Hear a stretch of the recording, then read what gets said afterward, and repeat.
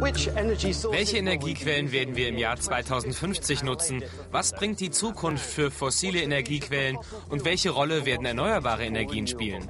Diese Fragen beantworten uns Experten in Hamburg und Paris. Diesmal in Comment Visions.